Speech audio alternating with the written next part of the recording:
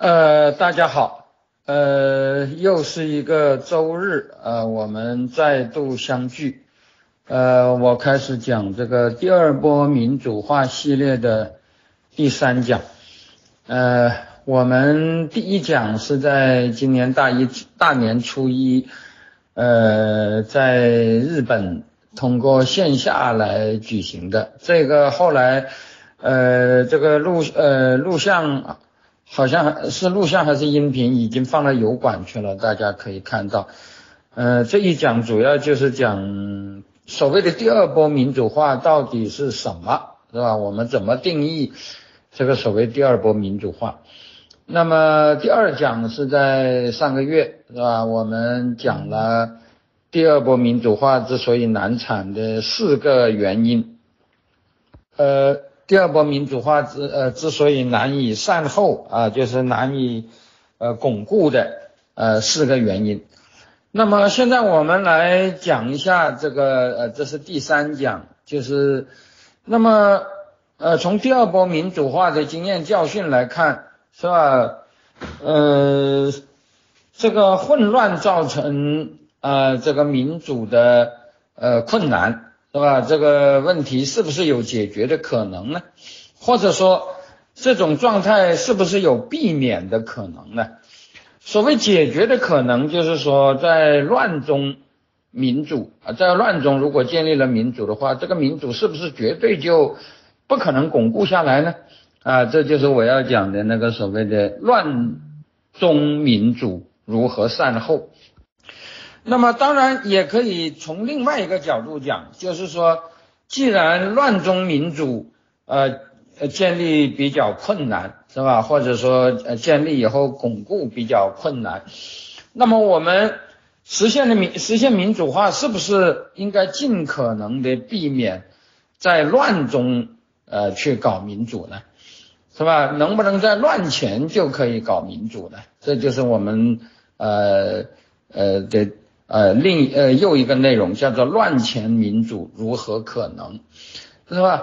乱前民主如何可能？乱中民主如何善后？这就是我们第二波民主化系列评论的啊第三。其实啊，呃，我们的这前两个评呃前两个讲座啊，呃，大家已经感觉到了，呃，实际上这个。乱前呃乱中民主之所以很困难，很重要的原因其实就在于专制制度本身。至于这种专制制度是建立在什么文化的背景下，倒并不是太重要的，是吧？乱中民主之所以难以啊，之所以困难重重，其实并不在于。啊，这个国家在东方还是西方啊？是新教还是天主教还是儒教还是什么别的教，是吧？而在于专制这种制度本身，它的危害，它的危害第一在于专制制度本身，在这个制度下就有很多的弊病啊，这个是我们不用讲的了。而我们现在呃要强调的是。这个制度的最大的弊病在于，即使在这个制度垮台以后，也很难产生新的啊，不同于以前的制度，是吧？也就是说，呃，专制制度造成一场大乱以后，啊，很大概率乱中出现的还是啊专制，甚至有可能是更极端的专制，啊，我前面已经讲过，往往原来那种专制。呃，都是收拾不了乱局，是吧？所以要通过一场革命产生比原来的铁腕更为极端的铁腕，才能够削平群雄，是吧？这个是非常可怕的，这个会造成非常大的一场呃非常大的灾难。但是实际上啊，越是专制，就越容易出现这个可能。这是一种逻辑啊，和文化其实是没有什么，和文化其实是没有太大的关系的，是吧？为什么这么说呢？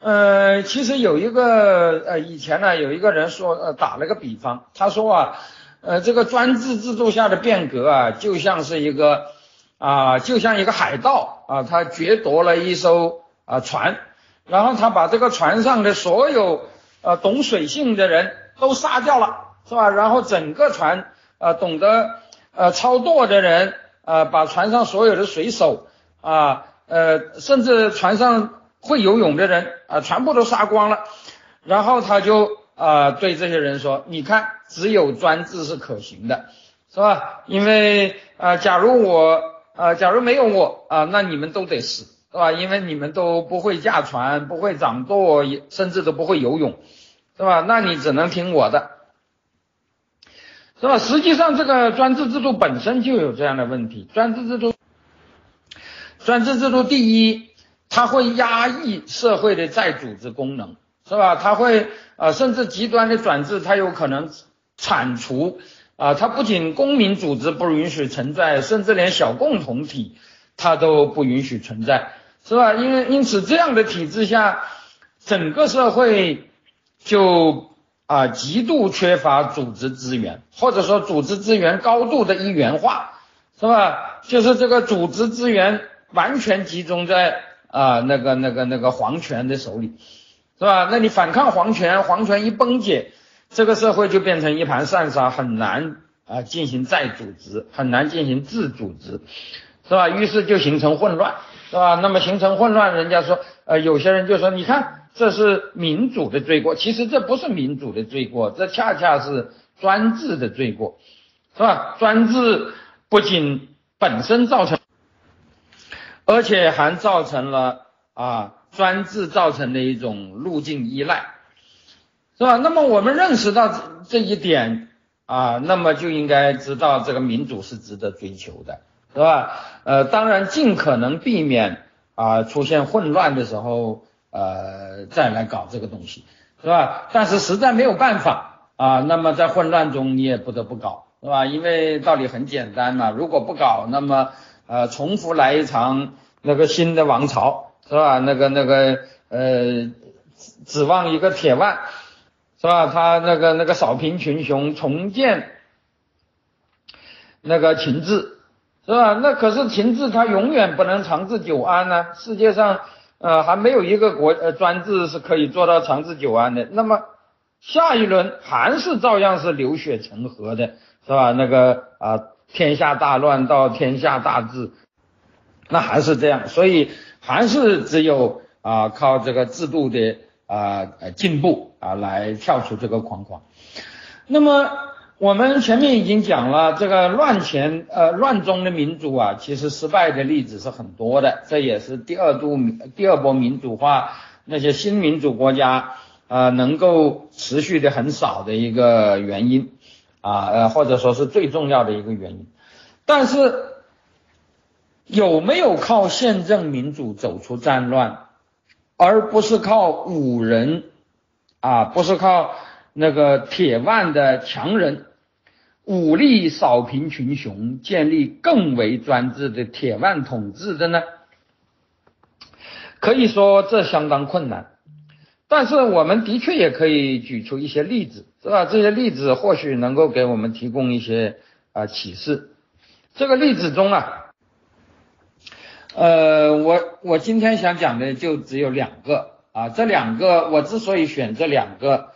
啊，就是啊，欧洲的捷克斯洛伐克和亚洲的印度啊，这个印度我刚才讲了，印度在呃一九四七年独立以后建立了民主国家。一九四七年虽然不是凡尔赛条约以后，是吧？捷克是在凡尔赛条约以后，呃，凡尔赛体系中，是吧？是那个呃奥匈帝国的呃那个那个那个废墟上建立的。是吧？那个众多国家之一。那么印度是在一九四七年独立以后建立民主制度的啊。那么一九四七年当然不是一战以后了，但是呃，我前面已经讲过，第三波民主化，我的定义是啊，从那个一九七零年代的地中海之春开始的，是吧？就是那个呃西。希腊、葡萄牙和西班牙这三个南欧国家的民主化，接着又是东欧，到了八十年代，东欧的民主化开始的，是吧？那么印度，呃，在一九四七年建立，呃呃呃，独立以后建立民主，这显然是也是在这第三波之前，所以我们也可以纳入到第二波去讨论。那么捷克斯洛伐克和印度，一个是东方，一个是西方，一个是基督教，一个是印度教，一个是大而穷的国家，一个是少而小而富的国家。那么这两个国家啊，它在大乱中啊都能够建立和啊巩固啊民主。这里我要讲，捷克的民主最后是被希特勒啊搞掉的，但是那是外部原因了，是吧？那是那个希特勒的从外部吞并把它给呃消灭了，是吧？但是呃，至少它并不是因为内生性的原因而失败的，是吧？所以我们如果呃不考虑这个外部侵略的话啊，也可以把它视为呃这个这个第二波民主化成功的一个啊一个范例，是吧？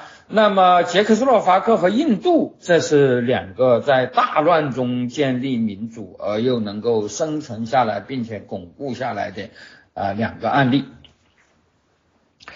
呃，那么我们先讲捷克斯洛伐克。捷克斯洛伐克是我前面讲了，是一九一八年作为凡尔赛体系下的新生民主国家，在奥匈帝国的废墟上诞生的。当时。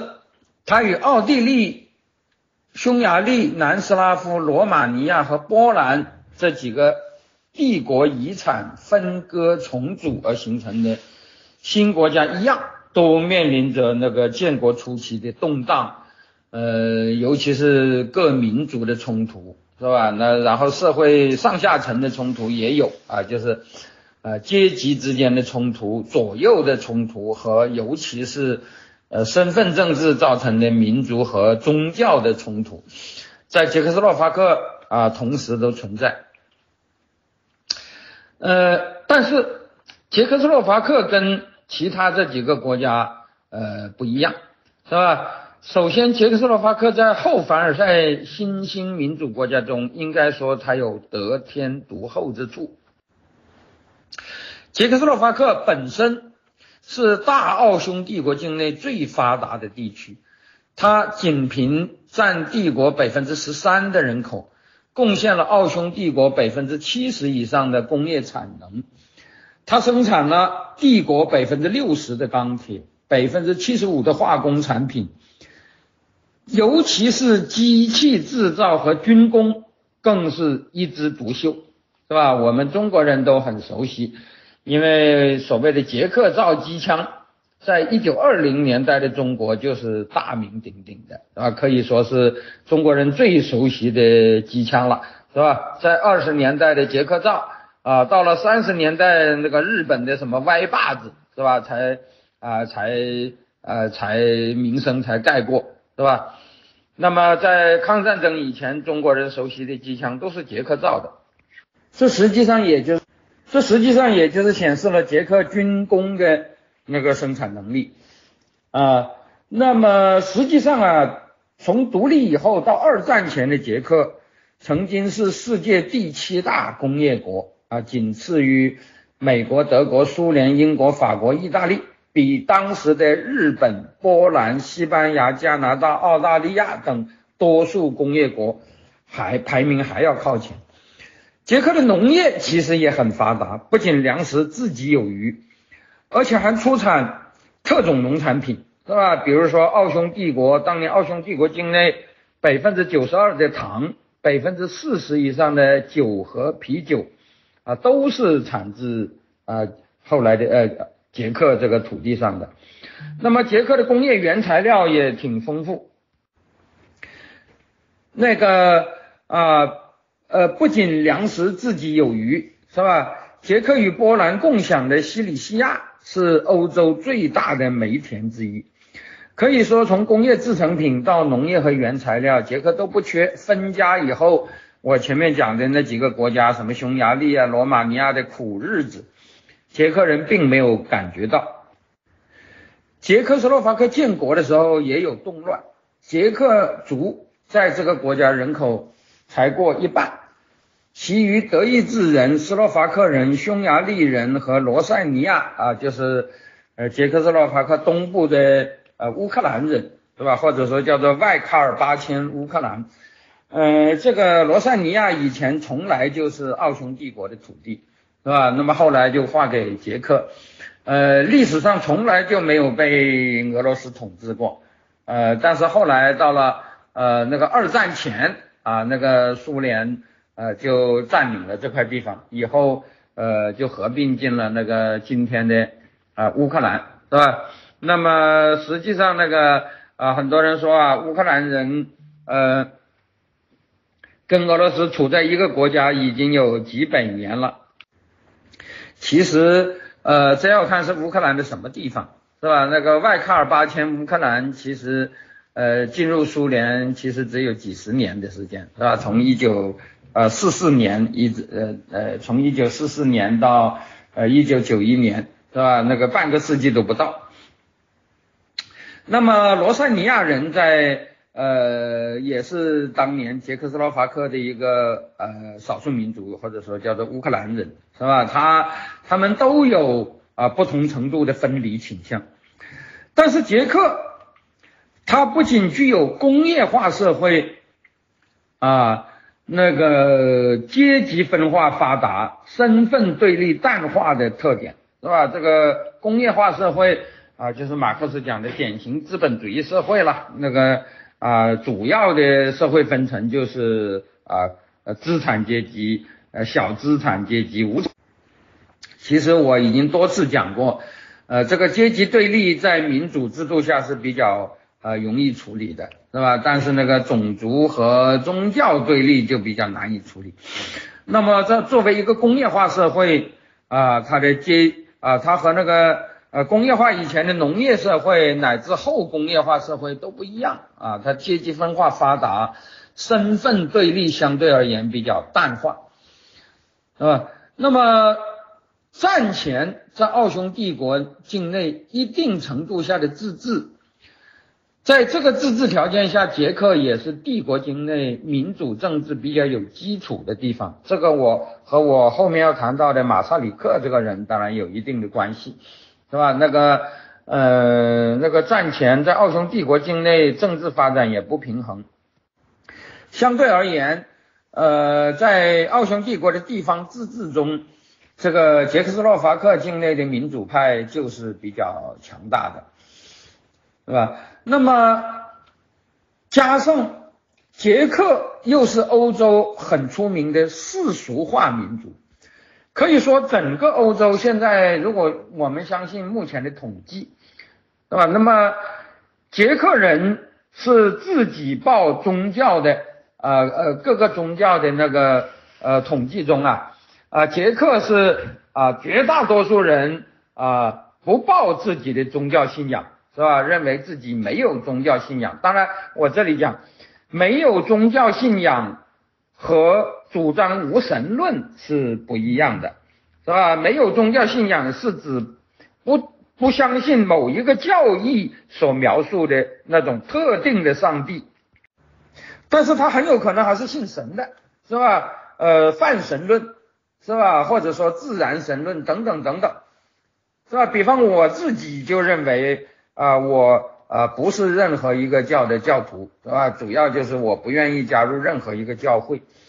是吧？但是我并不是无神论者，捷克人其实也是一样，是吧？那么捷克在欧洲是非常出名的一个世俗化民族啊，我们现在都经常有一个说法叫做波西米亚啊风格啊，或者说是波西米亚习气啊，或者说呃波西米亚风。什么叫波西米亚风呢？指的就是比较世俗化的，是吧？就是那个那个那个。呃，那个活得比较轻松是吧？讲的简单点啊，就是那个有人说是比较颓废，呃，但是不管怎么说吧，就是没有那么啊高度紧张那种信信仰。这个当然和捷克的历史上有关，捷克历史上曾经有过激烈的呃宗教冲突，是吧？历史上有过胡斯宗教改革，呃，而且那个欧洲。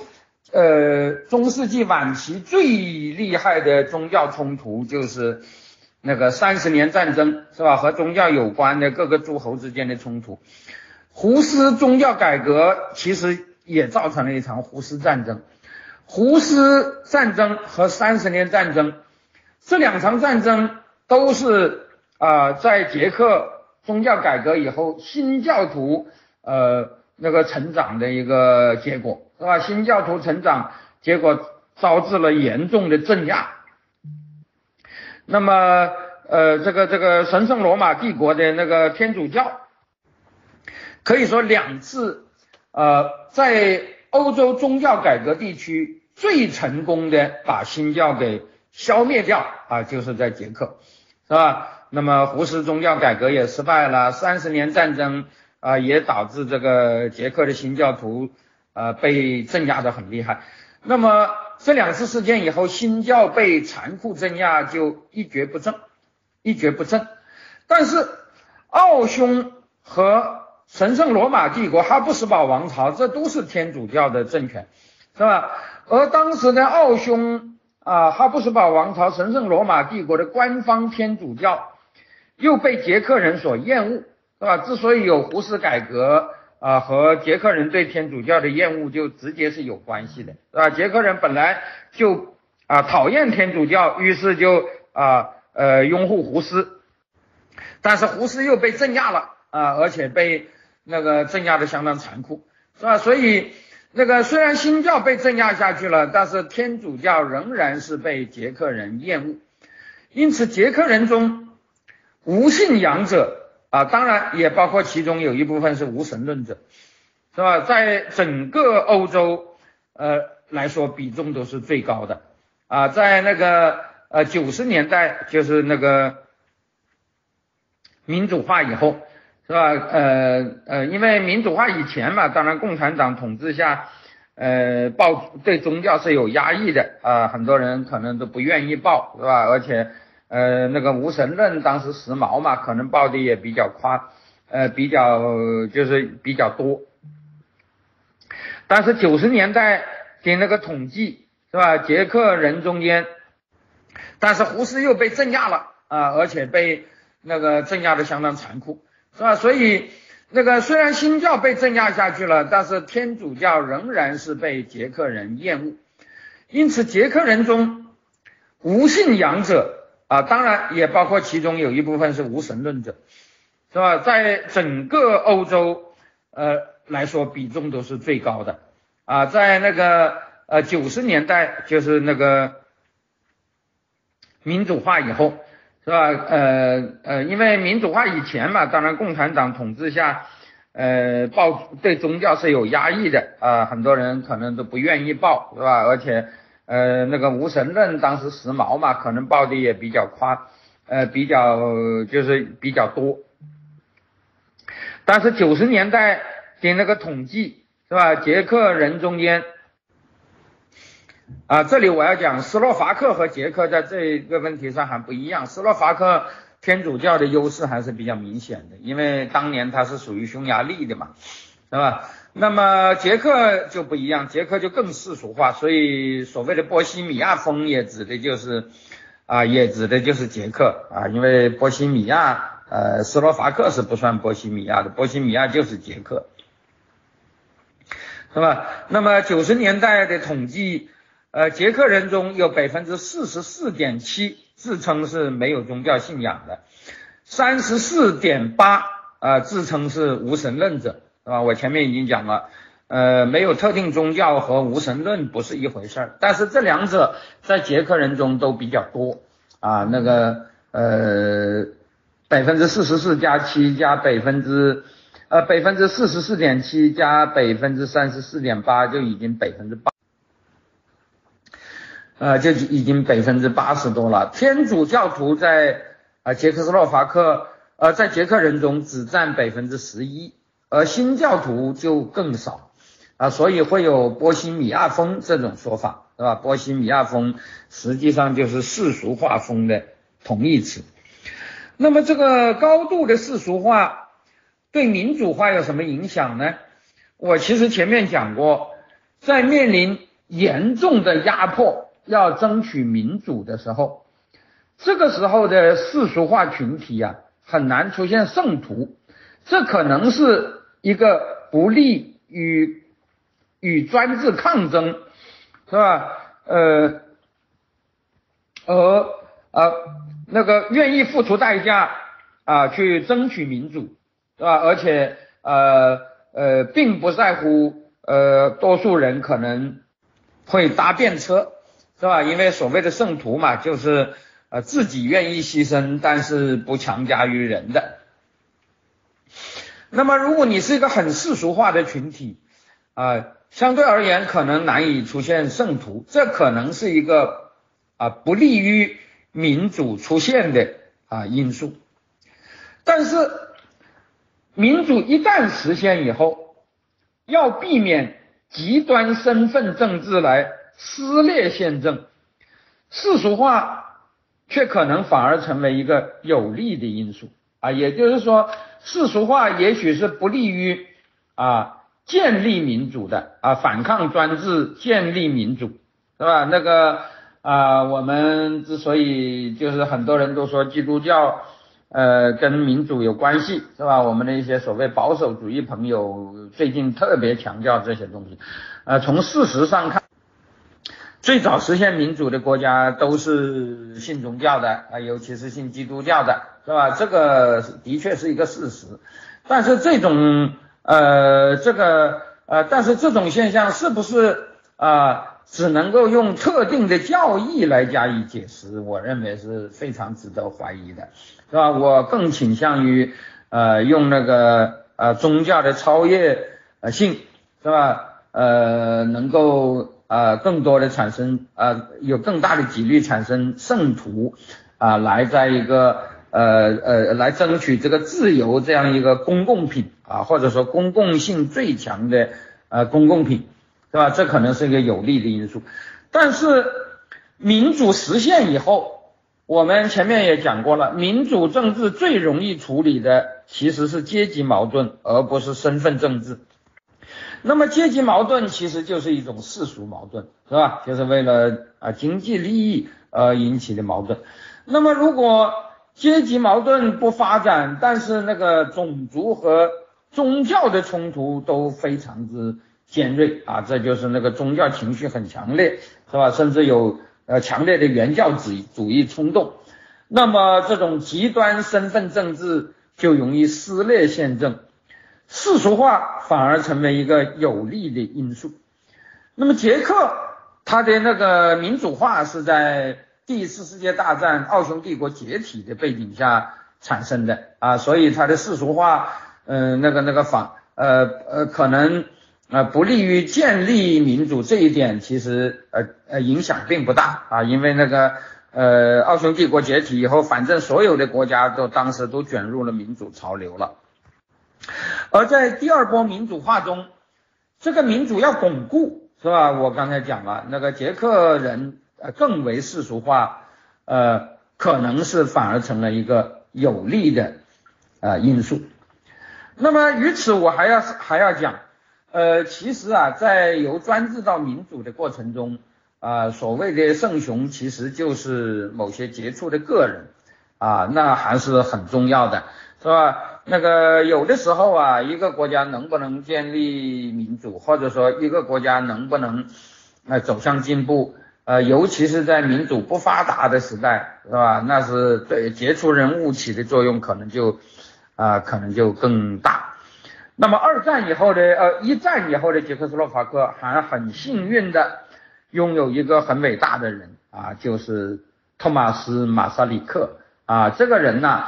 在不仅在捷克，在整个欧洲都很有名啊。呃，这个呃外语中啊有几个很有名的人是啊，人们是有一个呃简称的啊，有一个缩写的啊，就像那个啊肯尼迪是吧？那个呃斐茨杰拉尔呃肯尼迪就是那个叫什么呃 T D K 是吧？那个呃呃那个。嗯，呃，那个那个呃，马丁路德金是吧？就是 M 呃 M L King 呃 M L K 是吧？啊，还有那个罗斯福是吧？这个都是有简称的啊，都是有缩写的啊。那个托马斯马萨里克就是 T G M 啊，这个不仅捷克人都知道 TGM 是谁，在欧洲很多人也都知道啊，这个 TGM 是吧？呃呃，提到马萨里克的时候就提 TGM，就是托马斯呃乔治啊那个马萨里克。那么这个人是一个很杰出的、很杰出的凝聚核心。马萨里克是一个举世罕见的。学问做得享誉世界啊，是一个大学者，总统也当得青史留名的一个双重大腕。呃，其实啊，这个啊大学问家做总统不见得就做得好，是吧？这个呃，我曾经以前曾经讲过，呃，像那个保加利亚的斐洛夫就是一个典型，是吧？他本人是。保保加利亚科学院的院长啊，可以说是保加利亚当时最有名的学者啊，但是他的总统是当得一塌糊涂，是吧？那个呃，乌克兰的库奇马也是这样的，是吧？库奇马是很有名的那个呃核呃核工业的那个专家啊，那个那个也是一个啊学术大腕，但是他的总统也当的啊也当得很糟糕。啊，但是马萨里克不一样，而且马萨里克他出身也很有意思，他的父亲是捷克人，母亲是斯洛伐克人，他在很多国家都做过研究和呃读过书，是吧？他在维也纳大学啊以德语研究社会学，尤其是研究自杀啊，他对自杀的研究啊是一项开创性的研究，是吧？这呃呃获得了名声。呃，后来他回到捷克啊，提倡捷克化。当时大家知道捷克是完全德意志化的，是吧？我给啊，我在一些场合讲过，那个布拉格虽然是一个斯拉夫人的，但是几乎全是讲的德语，是吧？呃，捷克历史上的所谓文豪啊，包括那个呃呃，包括卡夫卡，是吧？呃，包括那个写那个叫做《好兵帅克》的那个人，是吧？呃，这些人很多，那个呃，捷克的文学家都是讲德语的，都用德语写作的，呃，所以那个呃，一些斯拉夫人，包括波兰人和塞尔维亚人，到了布拉格就很受刺激，是吧？我呃，在塞尔维亚游学的时候，曾经给大家讲过那个那个塞尔维亚和呃斯洛伐克。啊，和几个国家的国歌的作者啊，那个国歌叫《黑斯拉夫人》，是吧？呃，这个作者就是在布拉格看见大家都讲德语，啊，就是呃受到刺激，是吧？就写了这首歌。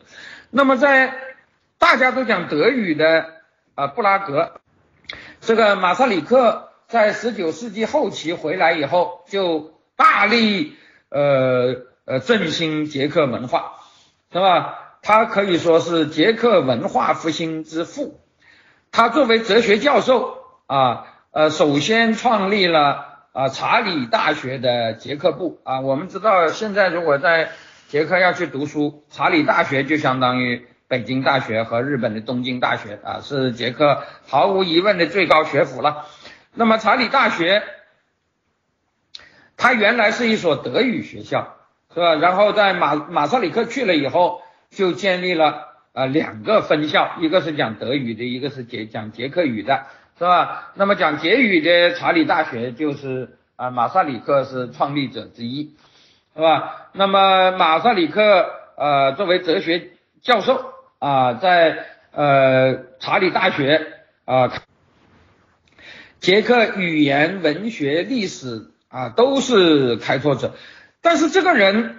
是吧？他一方面是捷克文化的呃大力弘扬者，但是另外一方面，他坚决不啊不把啊弘扬捷克文化当做一种政治正确啊来啊去去啊不择手段的去搞。当时有一个是呃对马萨里克的学术声望有很大的影响的，就是呃那个时候啊很多人说呃捷克语有一部。呃，古籍是吧？据说中世纪就用捷克语写的东西叫做宫廷手稿，是吧？这个东西有的人说是十三世纪，有的人说是十二世纪。总而言之，啊，还有的人说更早，是吧？总而言之，被说成是啊捷克语的一部古典啊，实际上是一部诗集，是吧？但是呃那个马萨里克经过研究就说，呃这是伪作，是吧？这是十九，这是十九世纪的人啊伪造的啊，伪造了一部中世纪的手稿，是吧？实际上是假的。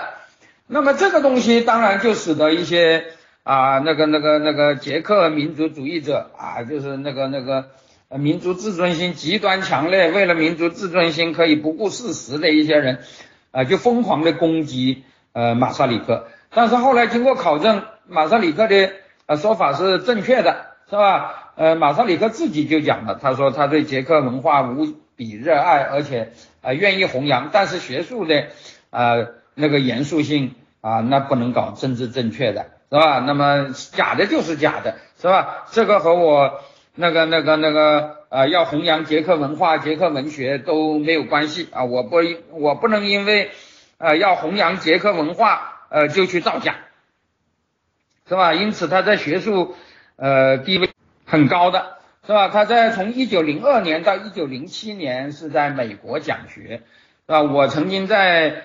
呃，芝加哥大学啊，他在这几年都是在芝加哥大学的，是吧？那个社会学中有一个芝加哥学派，呃，是很有名的，是吧？那么我在芝加哥大学的时候啊，就看到那个呃，芝加哥大学当然有很多雕像了，最大的一尊雕像，我以为是谁呢？跑到跟前一看啊，原来就是马萨里克，是吧？他的雕像比任何美国人的雕像都还要大，是吧？在美国，他的影响。是很大的啊，不仅在芝加哥，在匹兹堡好像也有他的啊那个像，也就是说啊，他是那个啊，他是一个大学者啊，他的学问是有世界呃那个声望的，但同时他也是一个啊杰出的政治家，他曾经推动过捷克的启蒙运动，作为帝国国会的议员，他曾经试图把奥匈帝国改革为。多民族的民主联邦，但是第一次世界大战的爆发，使他相信捷克独立啊是有前景的，呃，他就去游说啊各个大国，因为他当时是在美国的，是吧？那么他他又很有声望嘛，所以他就游说各个大国，啊，他成功的使得当时的美国总统威尔逊放弃了改造奥匈联邦。反而支持各民族的独立。那么到了俄国二月革命以后，他跑到彼得格勒，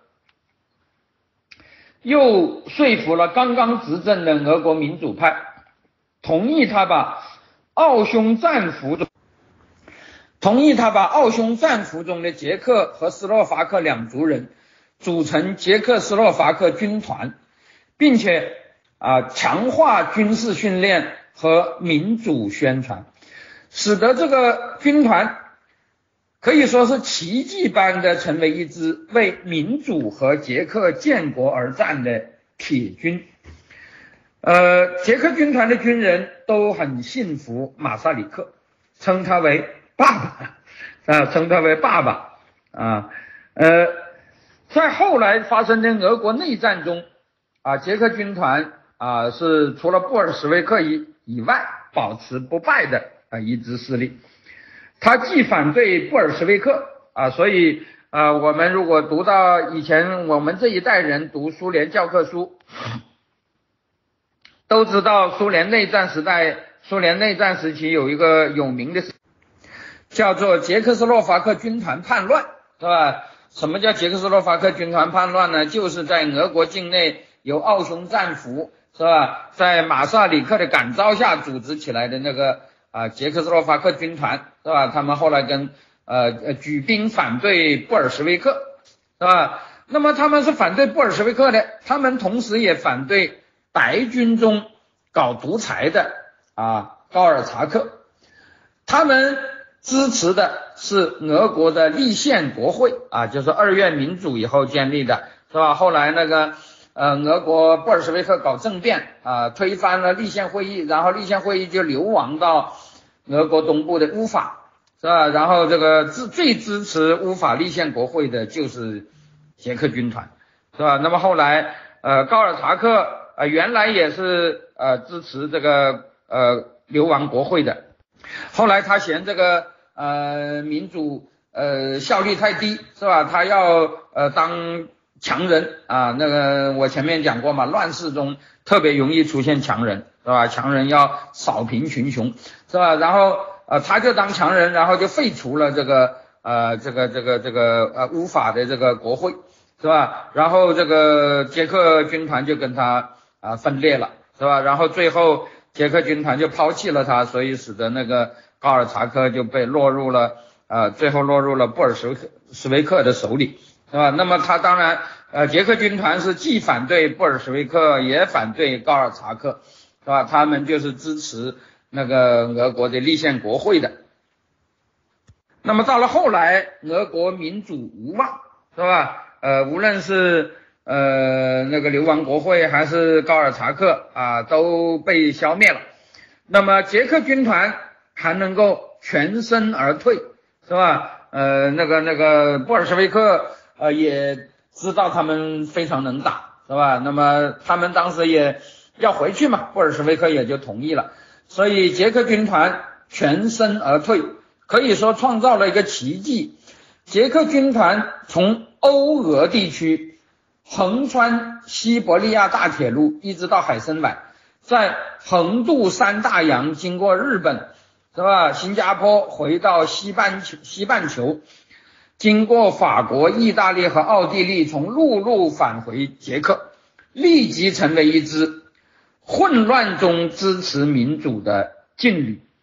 捷克民主能够巩固，马萨里克作为。啊，独立的捷克国父和民主之父，是吧？他能够站得住脚，和捷克军团这支武装啊是分不开的，是吧？在凡尔赛体系下的新兴民主国家中，捷克军队可以说是最典型的，既有战斗力，又有宪政民主价值，不会滋生极右军头搞军事政变的啊这样一支军队，是吧？我们知道。嗯，这个在混乱中建立军队啊，用民主的原则，老实说，往往是很困难的，是吧？因为你民主就不能太铁腕嘛。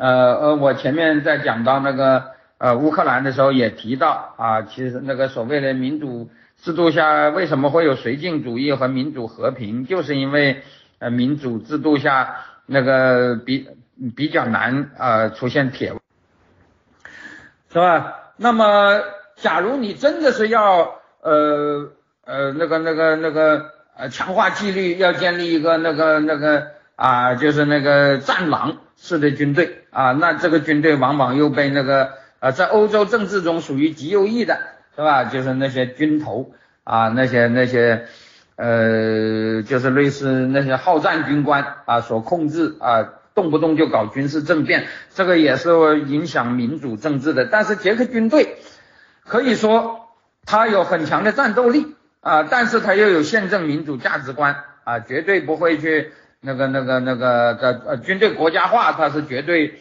呃支持的。从一开始他就是啊那个那个认为他是啊国家的军队，不是哪个党派的军队，是吧？也不会去搞啊军人独裁，搞军事政变。那么马萨里克就是靠他在建国之初的混战中，成功的巩固了共和国。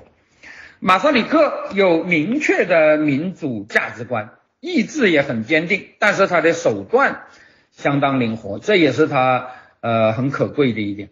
他作为社会民主党人，是属于社会民主党的右派啊。也就是说他是社会主义者，但他不仅是民主社会主义者，而且在民主社会主义者中，他是比较温和的，是吧？那个那个呃，不反对企业家，是吧？那么因此，呃，他作为民主社会主义者，他和左派保持了比较好的关系，那么跟自由派也可以兼容。在国际上，他一方面依靠协约国民主列强啊，跟他关系最好的就是法国。那么他依靠法国啊，呃，推动成立了小协约国啊。我前面曾经讲，呃，上一讲的时候曾经提到，是吧？那个奥斯曼帝呃不是奥匈帝国解体以后产生的那些国家，为了啊为了防止那个奥匈帝国中的极端主义者，就是奥地利人和匈牙利人，是吧？呃要呃复仇，是吧？要要恢复奥匈，是吧？那么他们建立了一个集体安全体系，叫做小协约国，是吧？这个小协约国得到法国的支持啊，获得了防止战败国复仇的集体安全保护。那么这么一来，其实也可以防止本国产生军国主义，是吧？因为如果你跟外面的关系很紧张，是吧？那你往往就是，尤其是小国，如果要穷兵黩武，是吧？那么往往就会走上一个军国主义的道路。那么这个有了这个安，有了这个安全保障，那么这就可以啊，那个一方面防止那个外部战败国啊复仇，另外一方面也可以遏制本国的军国主义化，是吧？而另一方面，这个当时的捷克啊民主政府以托马斯马萨里克为代表的民主政府，一方面跟西方的啊，协约国民主列强保持最好的关系。另一方面，他们对东边的苏俄也持友好的态度啊，这是可以说是当时和苏苏俄西边的这些国家中，捷克是唯一的一个跟他们关系还不错的，是吧？其他的什么波兰啊、罗马尼亚呀、匈牙利啊，啊，都是跟布尔什维克非常敌对的，是吧？那么马萨里克。在当时苏俄极啊，我们知道，呃，苏俄建立的头几年是非常孤立的，是吧？那么我们呃以前看那个苏联的教科书说，他们受到什么十几个国家的呃武装干涉，是吧？这个武装干涉当然也不是没有理由，第一个理由就是呃当时捷克呃当时布尔什维克呃搞政变驱逐了合法的立宪国会，是吧？建立了独裁。那么当时的呃世界上仍然是继续承认那个国会的俄国，就是二月革命以后的俄国，是吧？就是民主的呃立宪会议的俄国，而不承认啊那个搞军事政变呃那个那个消灭国会的布尔什维克，是吧？所以当时啊布尔什维克是在国际上是没有什么人承认的，是吧？那么呃。那么另一方面，这个呃，当时的俄国，包括第二呃，包括二月革命以后的俄国民主的联临时政府，是吧？也仍然是啊协约国的一员，是吧？共同大家共同对德作战。可是列宁一上台，我前面讲过，那个不陈独秀对此都很啊很失望，是吧？列宁一上台就背叛了协约国，跟德国搞呃单独媾和，签订了。呃，布列斯特合约，因此协约国啊，就这个也是协约国不承认他，是吧？那么协约国不承认他，那些反对布列斯特合约的，呃，俄国的反布尔什维克的那力量，当然就得到了协约国的承认，是吧？呃，俄国的传统，俄国的合法性由谁继承呢？是吧？那么呃，体制上就有主张民主的继承，是吧？那么在国际关系上就有啊。和协约国结盟的啊那些力量继承，是吧？所以这些国家都干涉啊布尔什维克，然后就跟布尔什维克发生。那么以后他们也就在相当长的一段时间内都啊不承认苏俄，所以苏俄当时是极度孤立的。那么马萨里克是吧？我们前面讲过，捷克军团也曾经啊跟布尔什维克发生啊冲突，是吧？所谓的呃捷克军团叛乱。但是在苏联内战结束以后啊，马萨里克就主张现实主义，是吧？不要呃那个那个还想着要去推翻苏俄，这是不可能的，是吧？那么啊，他就是主张啊，对苏俄不给予法律承认，但是应该事实承认，是吧？呃，关于这一点呢，是关于马萨里克研究中。呃，最近几十年的一个共识，因为以前曾经有人那个那个呃说马萨里克酌情，是吧？马萨里克是在呃西方各国最早鼓吹最早鼓吹承认苏俄的呃那个国家领导人，是吧？后来有人考证说马萨里克的原话是说啊这个呃布尔什维克夺权是非法的，从法治的角度讲，我们不能承认他，是吧？也就是说在法律上不能承认他，但是啊在事实上我们应该跟他保持正常关系，是吧？因为苏联内战已经结束了啊，你跟他去对抗啊延续战争啊也没有前景，也没有前途，是吧？所以。马克思呃马马萨里克实际对苏联的态度是不急于法律承认，但应该事实承认，或者从事或者也可以讲从在事实承认这个角度上，马萨里克在西方对苏关系中是有突破的啊，也就是说啊他就像基辛格是吧，是一个啊苏联的老朋友，那么。啊，他因啊，当然后来他在法律上也承认了，是吧？因为大家知道，从一九二四年以后，那西方各国也都陆续承认了啊布尔什维克，是吧？因为那个时候反布尔什维克的力量都已经消灭了嘛，是吧？那么呃，捷克当然也后来也承认了，法律上也承认了苏联，啊，但是在法律承认苏联之前呢，他在事实上已经跟苏联建立了正常化的关系。呃，因此他捷克就成了苏俄西边几乎唯一的关系正常化国家。对于有分离倾向的啊，捷克和奥匈帝国以后的各个国家后继国家一样，呃，最严重的问题就是那个种族冲突、民族冲突、宗教冲突以以及因此导致的那个分离倾向啊。我前面讲过，捷克这个问题很严重。因为捷克人占的优势并不大，是吧？捷克捷克人在这个新国家中人口刚刚过半，是吧？第二大民族，第二大民族还不是斯洛伐克人，是德意志人啊。因为呃，捷克呃，捷克人的周边住的都是德意志人，是吧？就是那个所谓的苏台德地区啊，德意志人的比重甚至比斯洛伐克都都要高。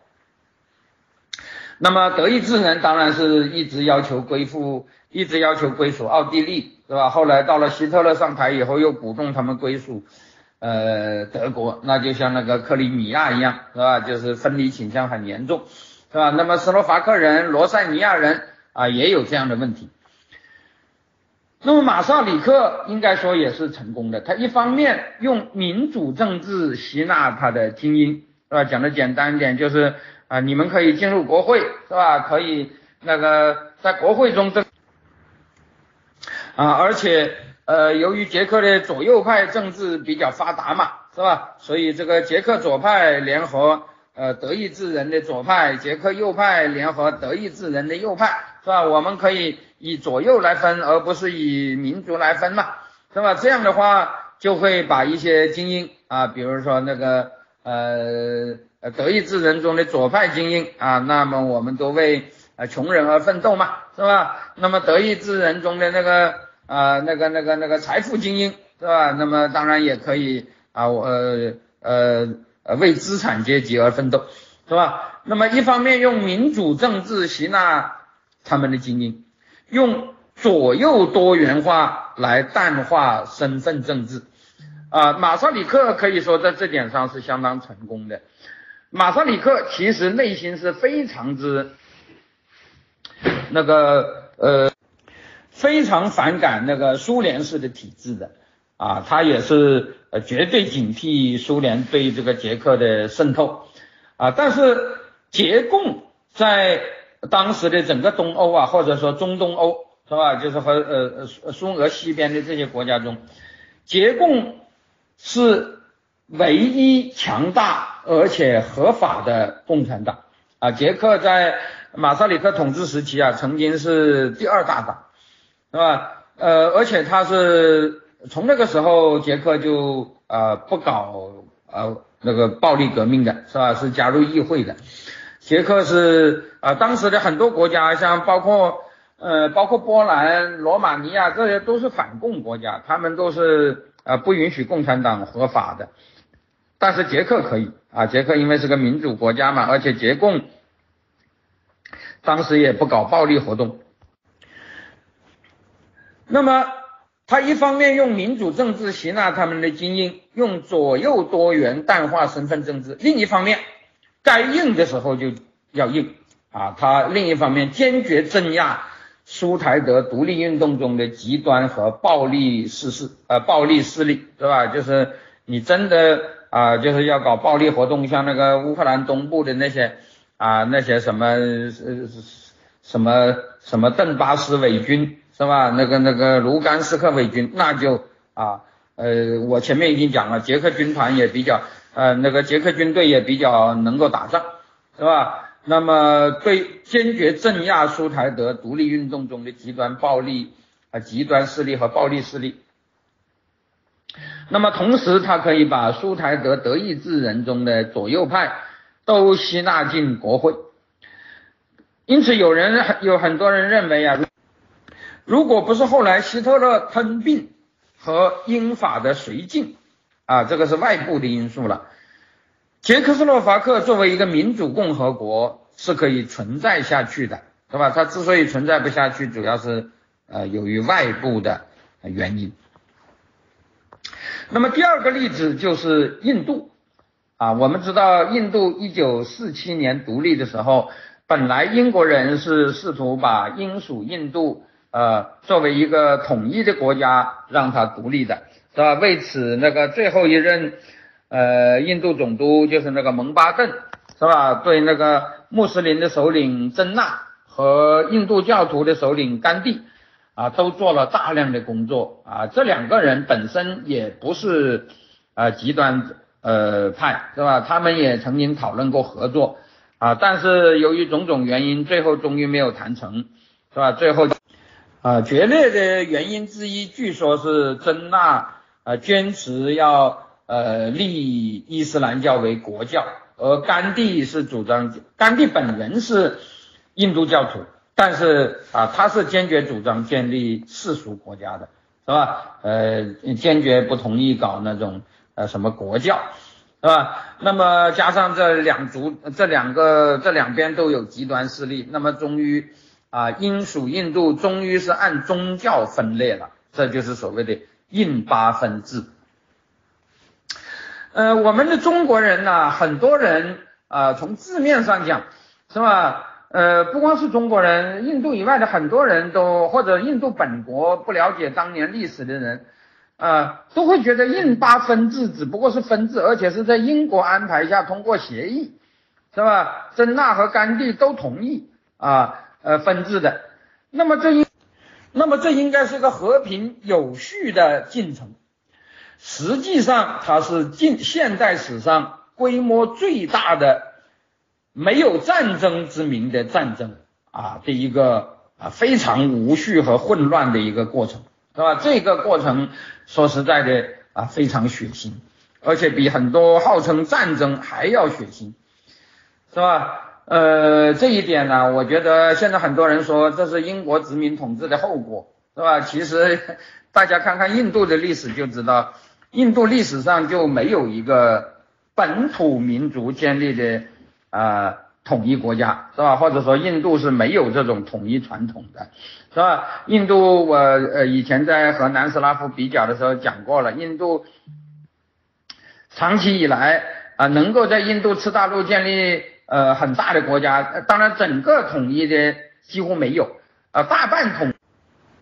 大半统一的国家，像德里苏丹国啊，那是阿富汗的那些人建立的，是吧？像那个摩沃尔帝国，那是中亚的突厥化的蒙古人，也是穆斯林啊建立的，是吧？以及后来的那个英属印度啊，那是英国人来建立的啊。其实英属印度啊，其实也就从这个意义上讲，也是延续了这个传统，是吧？你原来的那个呃那个阿富汗那边的穆斯林啊，那个蒙古。呃，那个穆斯林化的蒙古人是吧，都是从外来建立呃这个统治的，是吧？那么结果后来他又是英国人也来建立统治啊，但是那个英国人当然跟这两个前面的这两个不同了，他们是一个近代化的民族，是吧？那么，那么，那么在这之前呢，这个印度本来就是一个没有。印度本土的居民，在吉多王朝以后长达一千四百年的历史中，只有大大小小的土邦啊，而从来没有建立过呃比较大的国家，是吧？所以有一个说法叫做只有印度教，没有印度国，是吧？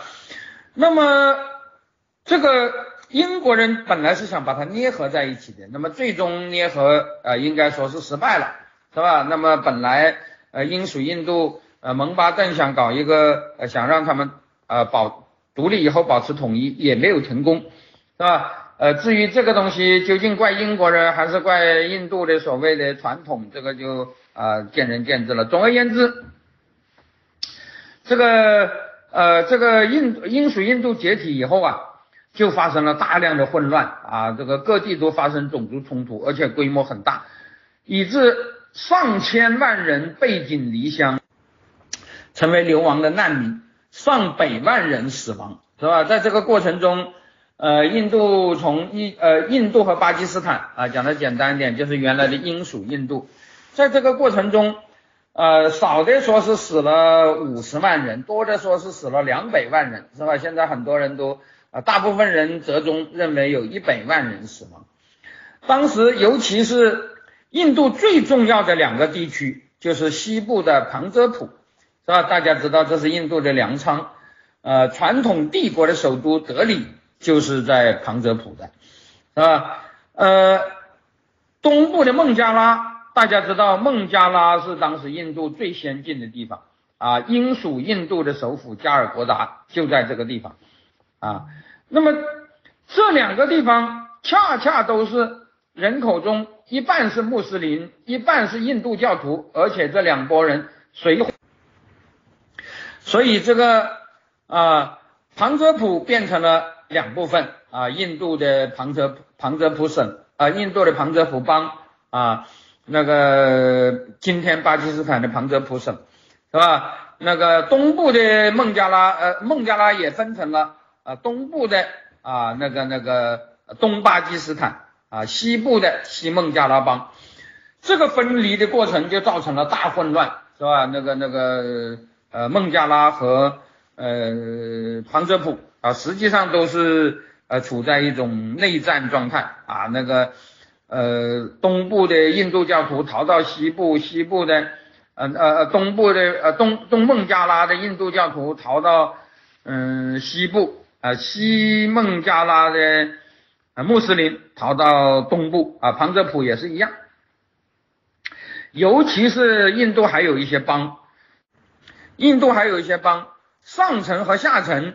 宗教信仰是不同的啊，比如那个克什米尔啊，我们现在知道克什米尔到了今天还是一个火药桶啊，次大陆的一个火药桶，围绕克什米尔，印度和巴基斯坦打了四次战争啊，现在的边境冲突啊都还没有停止，为什么呢？原因是因为当时印巴分治的时候说穆斯林归巴基斯坦，印度教徒归印度，但是克什米尔。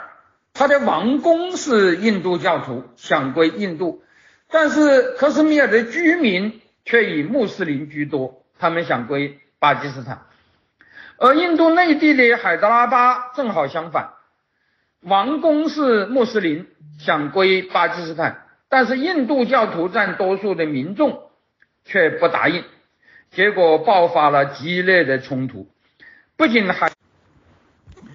不仅海德拉巴等地发生内战，印巴之间发生了第一次战争，是吧？这两个国家一建立就打仗，而且我这里要讲啊，巴基斯坦之所以对印度有很大的仇恨，一个很重要的原因，我其实在讲阿富汗的时候也提到过，是吧？那就是因为在巴基斯坦掌权的那些人中，大部分人是吧？从什么阿尤布汗、叶海亚汗啊，一直到那个。啊，那个齐亚哈克这些人，是吧？他们大部分的人都出生于从印度流亡到今天巴基斯坦的那些穆斯林难民，是吧？他们都是原来，呃，他们的家乡都是在今天的印度境内，是吧？属于印今天印度境内的穆斯林，是吧？然后啊，由于这一段冲突，就背井离乡流亡到啊今天的巴基斯坦，所以这些人当然是。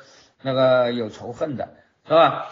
那么啊，这个这个呃，印巴之间发生第一次战争，而且啊，甚至连圣雄甘地这个最著名的非暴力主义者，也死在印度教徒自身内部的极端主义战狼的手中，是吧？一些印度教的战狼啊，这个这个认为圣雄甘地啊背叛了他们，不够强硬，是吧？那么呃，对穆斯林太放纵啊，于是就把他给暗杀了。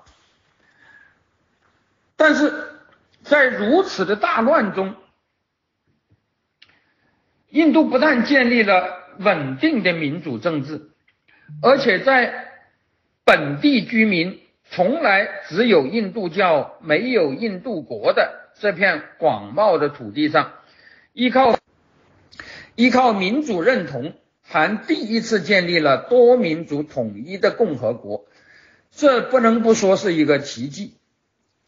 啊，那个，呃，我觉得现在有很多人看不起印度，是吧？说印度如何如何落后，其实印度是一个奇迹，是吧？而且我可以说，整个世界上是没有第二个的，是吧？在一个呃历史上从来没有本土居民，从来没有建立一个啊，呃，当然说从来没有可能有点绝对，是吧？你像那个孔雀帝国，呃，吉多王朝，是吧？勉强可以说是算是本地产生的。但是自从基多王朝啊，就是公元五六世纪那个时候那样，是吧？以后啊，一千四百多年的历史上啊，一千多年的历史上，是吧？那个本土居民只有各个大大小小的啊土邦，是吧？没有所谓的印度国这样的概念，也没有所谓，也没有所谓印度民族这样的概念啊。现在有个说法叫印度斯坦族，是吧？这个族当然也是。呃，民主化条件下形成的呃国家认同的结果了，是吧？那么它不但建立了稳固的宪政民主，还第一次建立了多民族统一的共和国认同，这不能不说是一个奇迹啊！关于这一点，我在那个以前讲过的印度和巴基斯坦的对比的时候啊，曾经讲过，是吧？那么。印度为什么能够创造这样的奇迹呢？第一，不能不说是英属印度两百年英国法治的传统起了作用。啊，早在独立之前十多年的1935年，英国就在啊整个英属印度实行所谓的印度统治法。所谓的印度统治法就是啊，穆斯林和印度教徒啊都分别制定宪法，是吧？因为然后呃呃，英国人试图把这两两这两个东西搞成一个啊，但是没有成功了，是吧？那么一九四七年啊，印度独立前夕啊，就是在七月十八号公布了印度独立法。那么这个独立法就规定，英属印度分为印度斯坦和巴基斯坦两个新国家，两国都在各自宪法，就是印度宪法和巴基斯坦宪法，这个其实是英国人搞的，是吧？呃，在印度宪法和巴基斯坦宪法实施之前，是英联邦的自治领，按照英国法律建立左中右的各个政党。尤其是印度后来宪法还规定啊，规定了世俗国家的原则啊，这一点啊，印度总体来讲比巴基斯坦要稳定，是吧？这个是也是国际公认的，是吧？巴基斯坦经常发生军事政变，是吧？呃，军人统治乃至那个部族的那个，包括现在所谓的巴基斯坦塔利班，是吧？那么。那个，但是印度从来没有发生过军事政变的啊。那个呃，那么印度这个国家啊，左右的分野，我呃淡化了种族宗教的身份分野，和南斯拉夫截然不同。这是我过去在印度南斯拉夫比较的时候详细讨论过的啊，这里也就不再重。总之啊。捷克斯洛伐克和印度证明，乱中的民主啊，不是不可以善后的，是吧？真的啊，民主不幸只能在大乱中建立的时候，这两个国家的呃那个经验呢是吧？我们可以呃多参考。呃，但是当然了，乱中民主不是不可以善后，但的确是相当困难。而第三波民主化之所以更为成功，很大程度上就是因为避免了所谓的乱中民主啊，无论是啊七十年代的地中海三国，还是那个八十年代、九十年代的东欧国家，都是在啊。秩序还基本稳定啊，社会还是正常的状态下啊，实行民主化的。所以我们说啊，更好的办法还是避免战乱，而在安定时代就，而在安定的时候就启动民主。这就是第三波民主化的成功经验。那么，为什么第三波民主化会成功？至少是基本成功呢，是吧？第三波民主以前被认为非常成功，甚至被认为是历史的终结，是吧？就是大家知道那个，呃，那个那个福库亚马啊，就是那个呃弗朗西斯福山啊，曾经在九一年，呃呃九二年写过一本书，叫做《历史的终结》，引起了很大的争论，认为从此世界就民主化就势不可挡了。那么现在当然不会有人相信这个东西了，而且现在民主的确是面临非常严峻的考验。但是不管怎么说吧，啊，一直到目前为止，是吧？第三波民主化的多数国家都成功的呃建立了呃相当稳定的呃已经过去呃那个二三十年了嘛，是吧？像希腊那都已经半个世纪了，是吧？差不多半个世纪了。那么当然可以说是成功的。那么，呃呃，我前面已经讲过了，各个国家的情况千差万别，你很难说某个什么特殊的文化就特别容易呃搞民主，是吧？如果我们真的要做一个比较能够容纳呃各种国家的一个归纳的话，你会发现第三波民主化并不是在动乱中产生的民主化。他们都是在秩序还相当稳定的时期就出现了民主化过程，对吧？当然，除了前南斯拉夫地区以外，是吧？前南斯拉夫地区就是那个那个啊，铁托死死了以后就越来越乱，是吧？然后民主化还没怎么搞，就发生了内战，是吧？那么，除了前南斯拉夫地区以外的绝大多数东欧国家，他们的民主化都不是在天下大乱的情况下发生的，民主转型并没有遇到结束动乱的难题，因此这些国家的民主化都比较成功。但是，为什么真正的问题在于，是吧？很多人一听我这样讲，他们就自然的反应就是这个，的确也是。为什么在没有动乱的情况下？这些国家会发生转型呢？啊，为什么其他的一些国家啊就不会呢？是吧？那么当然，直接的原因你可以说，因为他们的统治者相对而言比较开明，他们在还能够保持控制力的时候，就主动推进转型，从而避免了乱局，是吧？这对国家是好的，对他们自己也是好的，但是。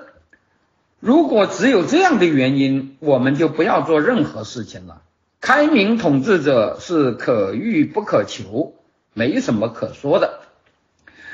问题是，统治者为什么在这个时期会变得开明起来呢？或者说，啊，开明统治者为什么在这一个时期，它的发生率会比较高呢？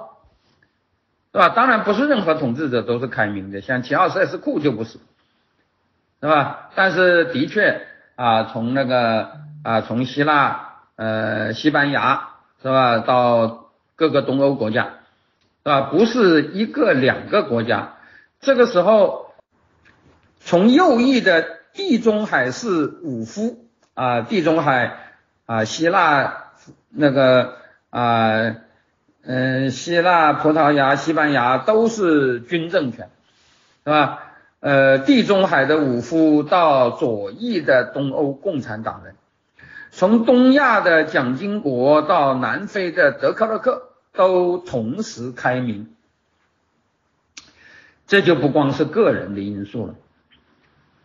除了民主思想在当时世界的影响力确实比一战时期更大以外，啊，这里我要讲，当时整个世界啊，呃，在经济上，呃，西方国家也都是也是正处在最繁荣的时期，是吧？就是所谓的里根撒切尔繁荣，是吧？那个时候，呃，东欧各国的经济都处在停滞状态，啊，都是那个那个。都是老百姓的生活跟西跟西方相比是差得很远，是吧？尤其是啊像捷克那样的国家，我前面已经讲过，他在奥奥匈帝国时期是最富的，是吧？呃，当时的捷克比奥地利比那个那个啊呃比比属后来属于西方的奥地利要富得多，但是到了七十年代，捷克已经比奥地利要穷好多了。是吧？那么在这个情况下，民主思想在当时的世界影响力确实比一战的时期更大。但是更重要的啊，我觉得啊，这里应该说是一个普遍现象啊，不管是中国人还是什么人，从啊大概率而言啊，当然那个那个圣雄不是没有可能，包括统治者中的圣雄，是吧？愿意主动放弃权力的。或者主动限制权利的是吧？呃，不是不可能，但是从大概率上讲，啊，尝到权力甜头的人都是不愿意主动放弃的，是吧？那么应该说，还是这些统治者当时面临很大的压力。统治者如果不开明，压力就没有办法化解。应该说，不管在什么文化条件下，很少有统治者在完全没有压力的情况下，仅仅凭借某种压理念就可以开明的。如果说第三波民主化比第二波民主化做得好，我认为带有总体性的原因，是吧？所谓总体性原因，就是啊，不仅啊只能说明一个国家，而是所有的国家都可以啊总结进来的原因。啊，如果你具体到一个国家，很可能每个国家都有，很可能每个国家都有自己的原因，是吧？但是如果要讲总体性原因，我认为就在于这些国家没有发生动乱的情况下，社会就逐渐给统治集团施加了越来越多的转型压力，使这些统治者出现开明人物的几率就会变得比较高。的确。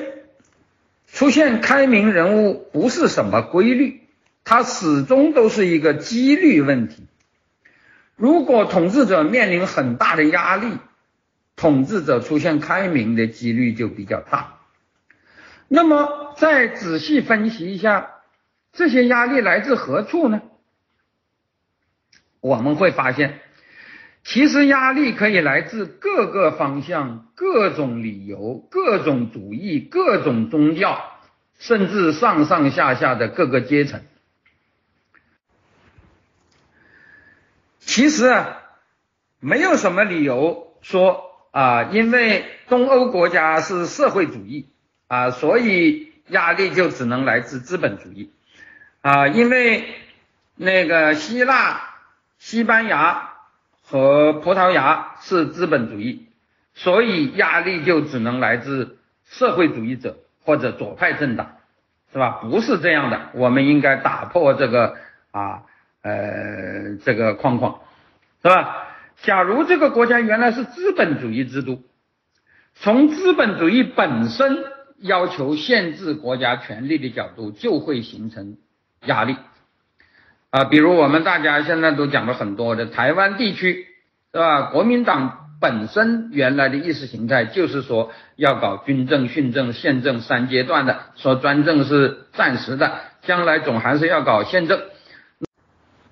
那么社会就可以要求你朝着这个方向走，不断要求你履行诺诺言，限制啊，越来越限制专制的权利。再比如说，传统也是很重要的一个。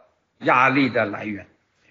当初西班牙弗朗哥军人夺取政权的理由就是要维护传统，是吧？呃，当时西班牙呃，三十年代西班牙共和国啊废除了国王，那弗朗哥说啊，我们西班牙人的传统就是要拥戴国王，是吧？这个这个这个呃，共和国是犯上作乱啊，那么他就以维护传统的理由起兵夺权，但是武夫擅权难道合乎传统吗？讲传统，你就要归正于国王，而民众要求归附归正国王，在当时的西班牙，民众要求归正国王。其实就是要君主立宪，是吧？这个君主立宪，这个要求归正国王是一个传统的理由啊，这个压力也是来自传统的。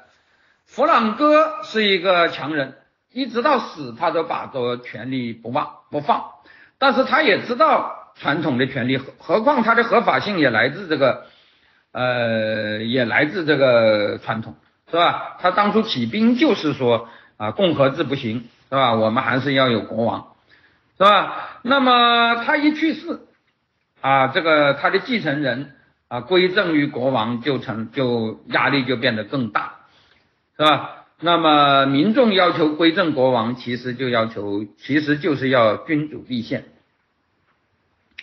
那么还有一些国家，它的意识形态是一党专政的，号称是社会主义，不允诺。宪政也不承认国家权力要受到限制，但是你既然说是社会主义国家，你的权利不受限，那你的责任就不能受限。对无限的权利就应该无限的问责。从摇篮到坟墓，你提供是该的，我们不需要感谢；不提供或者提供的不好，我们就要。问责，所以东欧各国的民主化，从一九五三年东德的六一七工潮开始，它的经济诉求一直都是社会主义问责式的。啊，东欧各国在民主化之前，反对派从来没有主张私有化，甚至连市场经也很少提，是吧？那么当然，这里有一个实际情况，就是东欧各国，尤其是东德和波兰，历史上少有专制皇权，但是战前就有强大的社会主义传统。我这里讲的社会主义传统，不是斯大林主义的传统，而是工会和社会民主的传统，是吧？人们都知道劳工权利。却不知道叩谢皇恩，三呼万岁。纳粹德国，纳德国在纳粹上台之前，社会民主党和共产党就是议会的第一和第二大党。战后两党合并成统一社会党，虽然是在斯大林强制下搞的，但是当时两党的首领都是工会出身的。老德共的威廉·皮克是木工工会的领袖，社民党的格罗提沃是印刷工会的领袖。工会领袖是干什么的？就是要为工人争取干活更轻松，挣得更多，福利更好。只有资本家才会叫工人先生产后生活，小车不倒只管推。一不怕苦，二不怕死，苦就是汗，死就是血。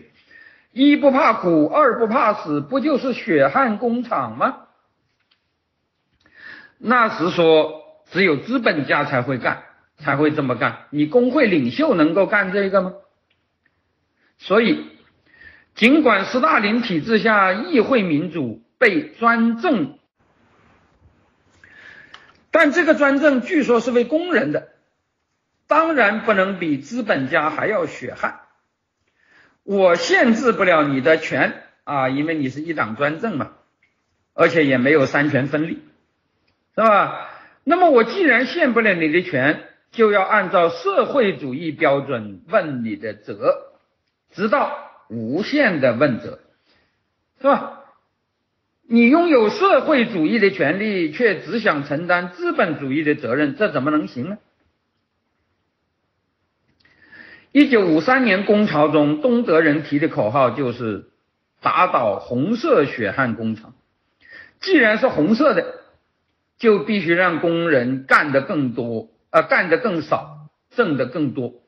如果统治者要你比西德的工人干得更多，挣得更少，那还算是红色的吗？六一七工潮被镇压了，但有趣的是，镇压的理由，当时东德啊讲的无非就是两条，一条是说工潮有外部煽动的背景啊，说工潮是西德的人，是西方帝国主义啊煽动的。二是说，工潮里头混入了坏人，出现打砸抢，但是工潮的诉求，尤其是经济诉求，当局却没法否定，因为这都是标准的社会主义要求嘛。人家一没有要求私有化，二没有要求自由市场，就是要求工人当家做主的工厂不能比资本家的工厂对工人更苛刻。这有错吗？社会主义的东德工人应该比资本主义的西德工人更少付出血汗，而更多享受福利保障，这不是当局你自己说的吗？所以，运动中混入了坏人或者被坏人利用，但工人的诉求是合理的，我们应该满足，这就成了。当局处理此类事件的模式化的说法。一九五三年的东德是这样，一九五六年、一九六八年、一九七零年、一九八零年的匈牙利、捷克，尤其是波兰，也都大同小异。当局每镇压一次被坏人利用的运动，就必须要在满足工人合理诉求上。加一层码，像波兰、匈牙利这些国家，当时民众对当局施加的压力，政治上的啊，政治上的自由民主往往是隐性的，因为这里有明确的言论禁忌，是吧？你不能说废除一党专政，你这样说马上就把你抓起来了。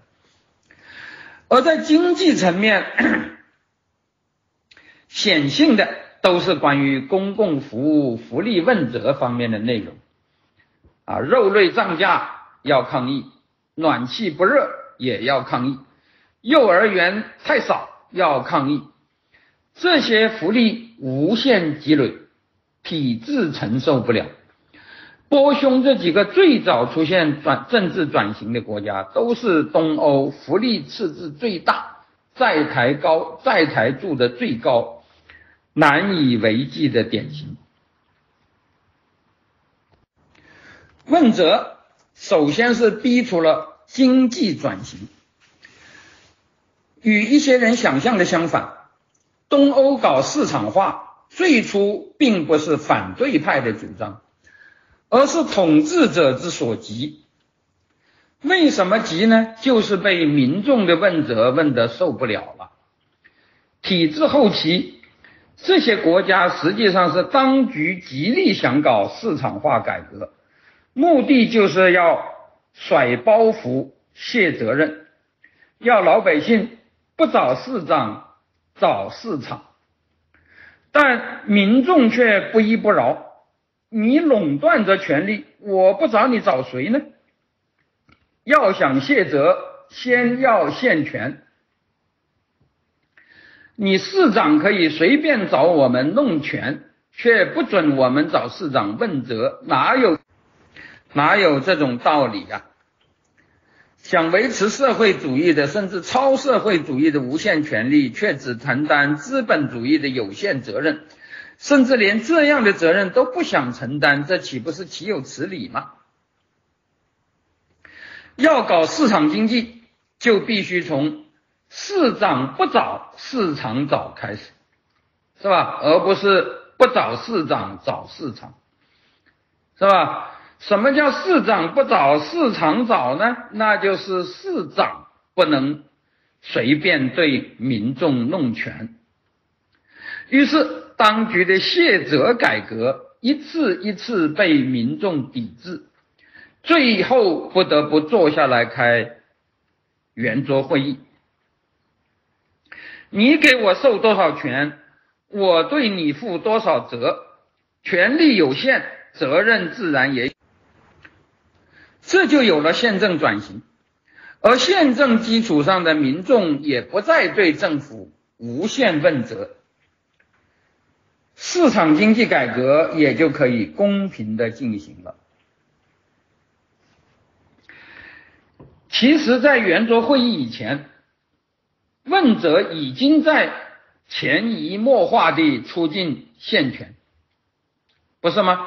你说搞福利没有钱？那钱到哪里去了？为什么政府搞那么多小汽车和官员别墅就有钱呢？在福利不能问责而只能谢恩的国家，民众不会关心皇上的账本，但是在波兰、匈牙利就不一样了，福利问责使得民众紧盯财政，结果弄得当局捉襟见肘。平心而论，从中国人的角度看，波匈旧体制末期的官员还真是清廉，没有什么既得利益。这不是他们的觉悟高，而是民众的福利逼债，把财政挤干榨尽，实在没有什么油水了。当官没有什么既得利益。民众又紧盯你逼债，福利搞了没人谢恩，不搞众人就要问责，这官当的真是如同鸡肋，也就没有必要不择手段的恋战到底了。其实，在变革前十年，波兰官员任内辞职就已经不罕见，是吧？包括啊，波兰的几个总理，什么？平克，什么谁谁谁了？好几个总理都是这样，市长啊，什么啊，那个呃呃，基层的干部就更是这样，是吧？变革前十年，波兰官员辞职就已经不罕见，变革中他们的开明也就不难理解了，啊，也就是说，当官的实在在老百姓的问责之下，是吧？呃，财政枯竭。啊，他们想贪污都没有什么可贪的，是吧？那个官当的实在也没有多大意思，是吧？那么这里头就有一个问题啊，就是老百姓老是把社会主义作为一个电筒啊，就照准了这些当官的。这里头就有个问题，这个手电筒的方向是非常重要的。民主转型要成功，就不能够等到天下大乱。统治者开明很重要，而除了个人因素以外，开明是适度压力造成的，而压力并非只来自一种主义，其实很多主义都是两面的。专制者可以用来压民众，民众也可以用来压专制者。就如前述的，一不怕苦，二不怕死。老板用来压劳工，那就是血汗工厂。其实自由雇佣制下，工厂如果太血汗，工人还可以跳槽。而专制皇上要老百姓一不怕苦，二不怕死，就更可怕了。但是你不是说人民是主人，当当局只是公仆吗？仆人怎么可以要求主人一不怕苦，二不怕死呢？而主人要求公仆一不怕苦，二不怕死，倒是顺理成章的吧？不许我们限你的权，我们当然就可以无限问你的责。其实别说不怕死了，就是如波兰体制后期官员那样没有油水的清水衙门之苦。就足以使他们不再留恋专制了。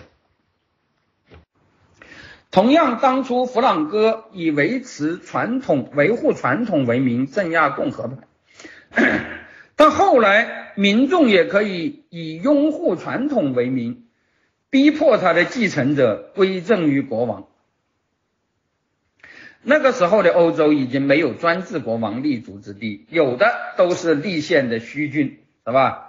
欧洲凡是有国王的国家都是立宪国家，啊，逼你。服从传统，归正国王，其实就是君主立宪的一个旗号，是吧？当时的欧洲有的都是立宪的虚君，归正国王其实就是走向宪政。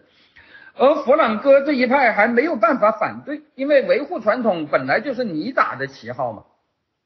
西班牙人就这样把传统从专制者对民众的压力变成了民众对专制。民众对专制者的压力，并且成功的实现了和平的转型。反过来讲，即便是自由主义这种通常被认为只是民间施压于政府的主张，如果任由统治者乱用，也会变成自由之敌，不是吗？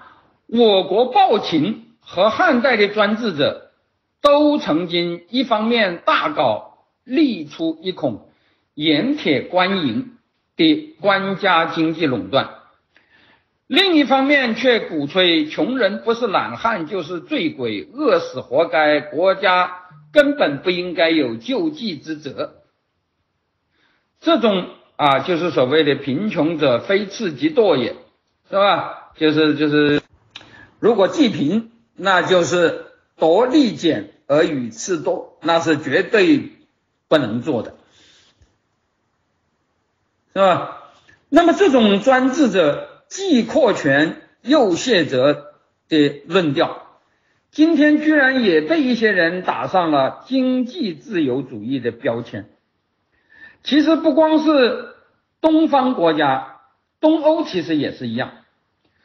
波兰旧体制末期，当局也曾经一面想维持政治经济的垄断，一面却打着经济自由和市场化旗号，授权企业随意解雇罢工者，而且还企图对格但斯克造船厂等大型国企强行破产清算，搞私有化，遣散工人，以消除。民主派工会运动的基础，是吧？当时他们的啊，那个波兰的那些最后一代共产党的呀，他们统治者，他们就想啊，说工会那就是对付老板的呀。但是如果你是国企，那国家就是老板，那工会当然就是对付国家的，是吧？现在还不如我搞私有化，我把私有化企业变成是私人的了。那你工人当然就对着老板，是吧？我国家反而可以啊高居工人和资本家之上，是吧？来当仲裁者了，是吧？基于他们这样的思想啊，就老说这个啊，像团结工会啊发生的这个格但斯克造船厂，是吧？说在经济上不合算啊，就要搞私有化，但是不管他们怎么讲啊，工人就不干，是吧？如果不是此计在民众抵制下失败，后来的圆桌会议和平转型，以及民主背景下成功的市场改革，都将难以发生。经济自由是这样，政治自由也是这样。我曾经提到过，是吧？我在那个啊，那个那个《走出帝制》这本书中曾经提到过。明治以后的日本式自由主义，专门鼓动小共同体内的自由，把人变成不孝父母、愚忠天皇的军国主义工具。我国新文化运动后期的蜕变，其实也提供了类似的教训，是吧？你不是？要自由吗？好，你向你爹、你妈去要自由，向家庭要自由，是吧？你们个个都那拉出走，出走到哪里呢？是吧？你们不能做家庭的工具啊，但是你们走出家庭以后，国家把你们抓起来做工具，是吧？这不是个性解放吗？这不是个人自由吗？是吧？摆脱小共同体。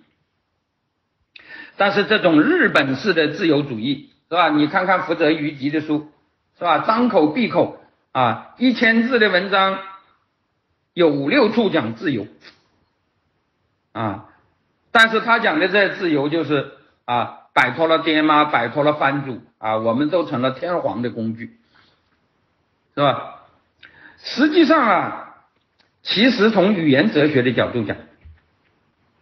任何主义作为语言符号，都有索绪尔所讲的任意原则特性。专制者可以用来压民众，民众也民众也可以用来压专制者。第三波民主化成功的国家比较普遍的一点，就是民众善于运用各种话语资源来绕过专制的语言禁忌。成功的对专制者施加了压力。你号称社会主义，我可以用社会主义对你问责；你号称自由主义，我可以用自由主义对你限权；你提倡传统，我可以用传统话语施加压力；你提倡基督教，我可以用基督教义对你施加压力。总而言之，压力话语无处不在，关键在于不能只让统治者给被统治者施压，被统治者要用被统治者要用一切办法向统治者施加压力，这些压力往往因势而发。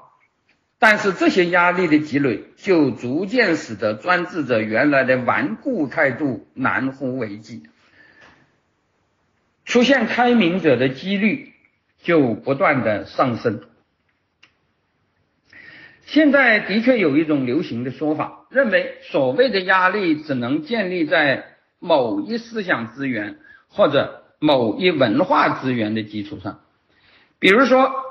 以仁义道德为理由施加压力，好像就不如以基督教义施加压力来的顺畅；或者用社会主义问责的理由施加压力，好像就不如自由主义限权的理由来的顺理成章。这就使人们失去了很多的可能性，而且搞，而且搞得不好，还会产生很糟糕的现象，即。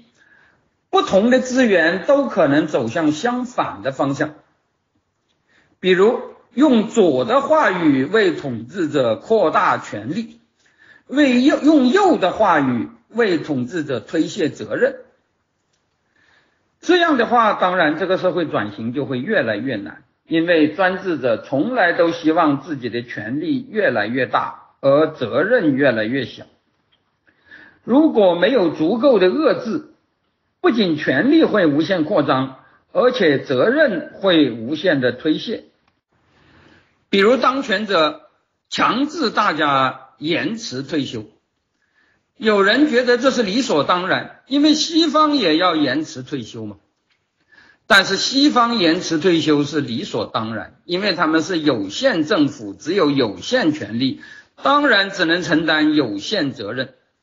一讲责任，你就拿西方来比；讲到权力，你怎么不拿西方比呢？如果你责任要有限，凭什么权力却要无限呢？现在好了，在问责方面他没有压力，他就会限权吗？笑话，无人问责的权利，谁不想越扩越大呢？请看，在减福利的同时，他就要加税了。你不但要延迟退休。而且，即使退休了，还是要交各种各样的保险税。如果这两方面都没有阻力，他还会进一步的扩权卸责，恨不得让你老死了都不得退休，同时死人都要交税。所以在这种情况下，限权和问责两个方面的压力都是不能放弃的。尽管社会压力的语言表达形式可能存在各种限制，但是实际上每一件事、每一种思想资源都可能有不同的指向。过去体制内有一种说法，好像就是毛泽东说的，是吧？他说啊，某些霸道者把马克思主义当成手电筒，自己拿着照别人，却不准别人拿了照自己。那么老百姓更简单的说法就是，只许州官放火，不许百姓点灯。其实何止马克思主义，任何主义都不能把它变成单方面的、单方向的手电筒，只能上面照下面，下面不能照上面。而如果把手电筒调一个方向，所有的思想资源都是可以为。社会转型，呃，国家转型、社会进步提供动力的。研究思想的人们往往为哪种思想正确而争论不休。其实，在思想获得自由之前，能否自由思想比持有什么思想更重要。这就像无论烧的是煤油还是豆油。只许州官烧，那就是放火；百姓也能烧，那才是点灯。大家说对不对呀？而且多元的思想还能够产生我经常讲的一个概念，叫做“此货效应”，是吧？其实何止近代，我们可以回顾一下，十五世纪欧洲就出现了一次思想解放。当时同样是讲基督教戒律，教廷高层只拿戒律来敲打信徒，那就是保守势力，是吧？你说宗教改革改的是什么呀？是吧？现在很多人说宗教改革有很多什么某个教义如何，某个教义如何，其实你看看，是吧？真正起作用的。其实根本就不是这些教义，而就是基督教的戒律，是吧？那个罗马教，他们自己很腐败，但是拿教戒律来敲打信徒，是吧？说你说你应该守规矩，是吧？那就是保守势力。而像马丁路德或者加尔文，当然尤其是马丁路德，马丁路德搞的改革是干啥？其实就是反对教廷的腐败，说你教廷违背了基督教的戒律，是吧？你征收什么赎罪券？你征收了赎罪券来自肥，是吧？这不违反基督教的戒律吗？是吧？只准你说我违反戒律，不准我说你违反戒律。这怎么能行呢？同样是违反戒律，教廷拿来敲打信徒，那就是保守；马丁路德拿戒律来敲打教廷，是吧？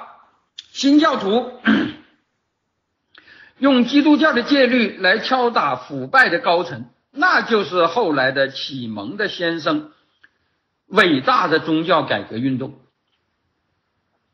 从抨击教廷敛财的马丁路德，直到后来出走美洲的清教徒，干的不就是这个事儿吗？基督教和自由民主的关系现在被讲的非常之复杂。一些人认为，只有基督教文化中才能孕育出自由民主。他们这样讲的一个基本理由。就是最初的自由民主体制的确是在基督教西方出现的，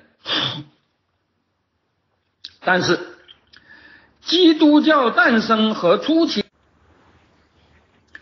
啊，基督教诞生和初期流行地中东并没有成为民主的摇篮。基督教西传入欧以后，也有千余年之久，并没有体现出与自由民主有什么关系。只是体现了罗马文明的衰落，这也是不争的事实吧。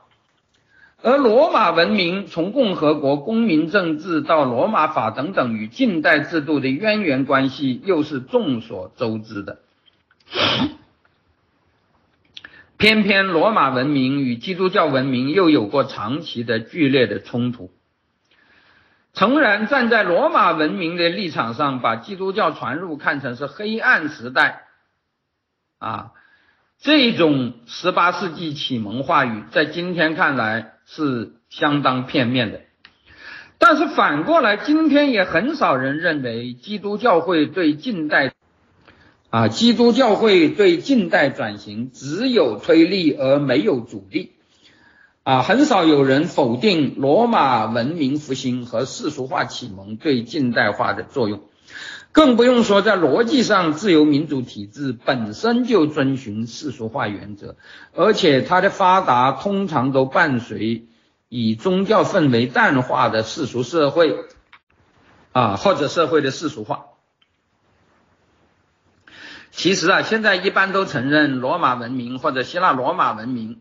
与基督教文明都是构成近代化土壤的所谓西方文明不可或缺的资源，这就是现代西方运营于两希啊，就是希腊和希伯来之说。但是两希，尤其是希腊发展的罗马，希腊发展出来的罗马和希伯来发展出来的基督教两者却是打架的。而且在漫长的历史时期，曾经打得比近代自由主义和社会主义的架还要厉害。更有意思的是，不要说在两西只有其一的地方，例如只有基督教的埃塞俄比亚啊，埃塞俄比亚是世界上最早的基督教国家了，是吧？但是它是没有什么希腊罗马的文明的，就是两西传统皆有，而且结合的最好的地方。啊，典型的就像我前几次讲演讲讲的拜占庭和希腊，是吧？东正教地区也未见得就是现代化转型容易的地方，恰恰相反，在这片广大土地上抗拒现代化转型，直到今天啊啊，你都还能看得到啊这种现象。为什么两西打架或者两西和谐？在有些地方会有利于现代化转型，在另一些地方却相反呢？其实并不难理解。在前一类地方，教会抵制着世俗王权的扩张，而希腊罗马的共和及公民政治传统也成为解构王权的力量，是吧？讲的简单点，就是教会传统在抵制王权，而。啊，世俗的公民传统，或者说希腊罗马的共和传统，也是解构王权的力量。而在后一类地方，教会成为皇帝驯化民众的工具，而希腊罗马的马其顿君士坦也成为强化皇权、压制民众的力量。换句话说。就并存着两支电筒，是吧？就是希腊罗马的电筒和基督教的电筒，是吧？就并存的两支电筒而言，上述两类地方表面上看起来类似，但是在前一类地方，两支电筒都是老百姓拿着往上照的，而后一类地方却都是组织拿着往下照的。不管是煤油还是豆油，在前一类地方都是百姓点的灯，而在后一类地方都是州官放的火。在历史上，我们在中国的历史上，我们同样看到类似的现象。近代所谓的中西文化碰撞，是吧？太平天国是崇耶敬儒啊，崇拜。拜上帝教而禁止啊孔孟之道，义和团则相反，号称禁止洋教，反对西方而独扬所谓的国术。